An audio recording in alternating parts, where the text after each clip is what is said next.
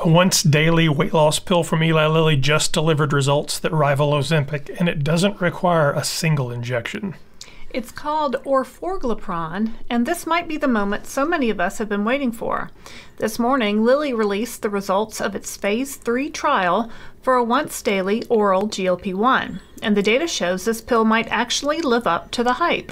If it gets approval, orforglipron could become the first oral GLP 1 treatment for obesity with results comparable to injectables like Wegovy and Ozempic. That would be a massive leap forward for access for convenience and for people like us using GLP 1s to treat the disease of obesity. Before we get into the full story, just a quick reminder I'm Laraine Durham, and together with Christopher, we've lost over 150 pounds using Zepbound, Mounjaro, and Tirzepatide. We're not doctors. Nothing here is medical advice. Always talk to your healthcare provider before starting or stopping any medication. And if you're new to our channel, welcome. We're so glad you're here. We break down the latest GLP 1 news, personal stories, and updates every week, so make sure to like and subscribe to the downsize to stay informed. Lilly's phase 3 trial, called Achieve 1, followed 559 adults with type 2 diabetes. These participants weren't on any other diabetes medications, just diet and exercise. They were randomly assigned one of three doses of orforglipron or a placebo and took it daily for 40 weeks. And the results were strong. People on the highest dose lost an average of 16 pounds. That's about 8% of their body weight. The middle dose group lost 12 pounds. The lowest dose lost about 10 pounds, and those on placebo lost under 3 but it wasn't just weight loss. Their A1C levels improved significantly, dropping up to 1.6%. Over 65% of people on the highest dose got their A1C down to 6.5% or lower, a key marker for diabetes control. And as we've seen throughout research, this was all done on diabetics at this point. Typically, diabetics have a harder time losing weight on these drugs, so the presumption would be fighting obesity, it should perform a little bit better. What sets orforglipron apart from the other oral GLP 1 from Novo Nordisk, which is Rybelsus, is how it's taken. Rybelsus has to be taken on an empty stomach first thing in the morning with a full glass of water and then no food or drink at all for at least 30 minutes. With orforglipron, you can take it anytime, with food, without food, it doesn't matter, and that's a huge benefit for real world use. And here's another piece of the puzzle. Back in 2023, Novo Nordisk announced that its higher dose versions of Rybelsus, the 25 milligram and the 50 milligram, had outperformed the current 14 milligram dose in a late stage trial. The results looked promising for both blood sugar control and weight loss but those higher doses still haven't reached the market. Approval is still pending, and Novo has said any broader launch will depend on manufacturing capacity and portfolio priorities. So even with that phase three win, patients are still waiting.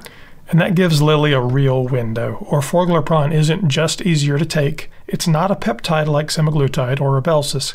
It's a small molecule. That means it's more shelf stable, easier to manufacture, and could potentially be cheaper to distribute. That's why it's getting so much attention, not just from doctors, but from investors too. Just two days before the public announcement, Lilly's top executives gathered in Indianapolis to look at the final data. Time magazine's Alice Park was there, and according to her, the tension was high because just days earlier, Pfizer had scrapped its own oral GLP 1 due to liver toxicity. So everyone in that room knew what was at stake. Lilly CEO David Ricks said he's been through dozens of these data reviews, but this one felt different.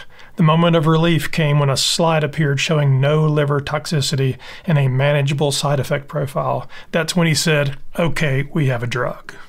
So let's talk side effects. Diarrhea showed up in 26% of participants. Indigestion was about 20%, and nausea was about 18%.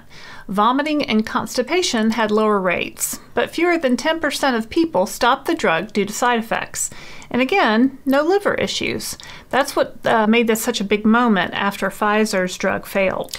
Wall Street also noticed Lilly's stock shot up 15% in the first hour of trading on Thursday, jumping from $734.90 to $844.69.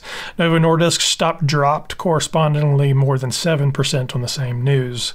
Analysts from Citi said Lilly's results exceeded expectations and described the clean safety profile as a sigh of relief.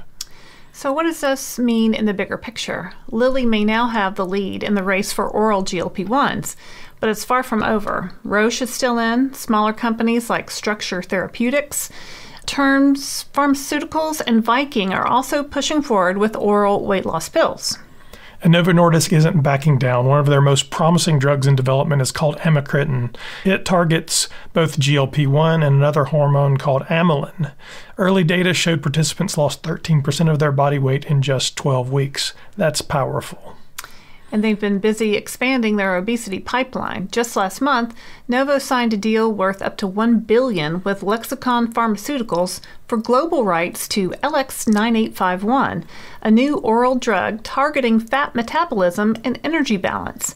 In early studies, combining LX9851 with semaglutide helped reduce weight and prevent weight regain, making it a possible companion to Ozempic or Wegovy.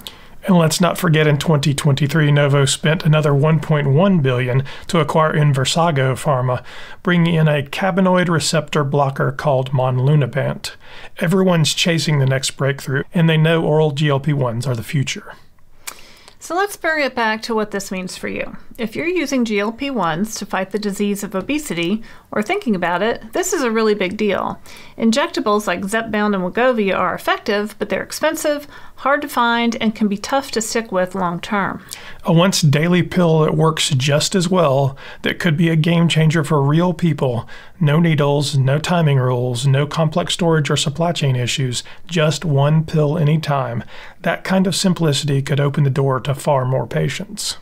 And maybe even more importantly than starting weight loss is maintaining it.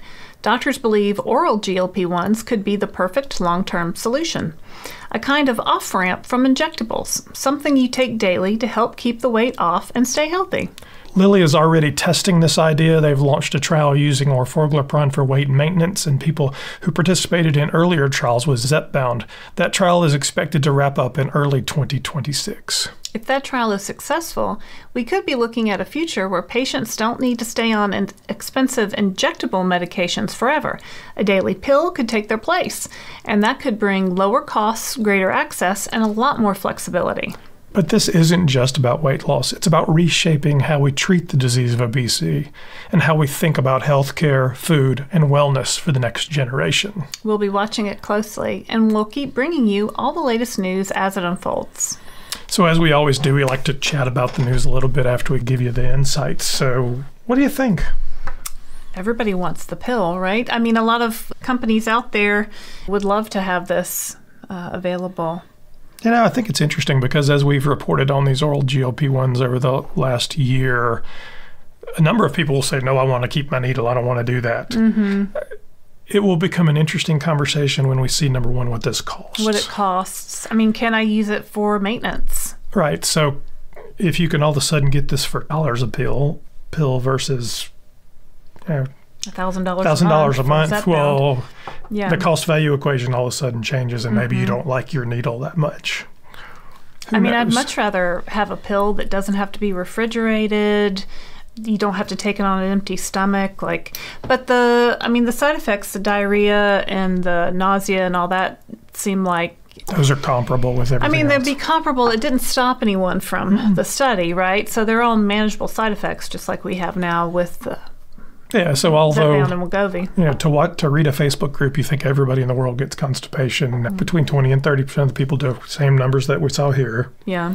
So it's not. I think the other thing that's interesting is the extended distribution and potentially the lower cost could open this up to become a preventive medication. So maybe you never have to get to 100 pounds overweight or 200 pounds overweight. Wouldn't that be nice? And what would the marker be, I guess, to start it? I don't know. I don't know. The future of healthcare and mm-hmm. medicine is crazy right now. So we look forward to seeing it.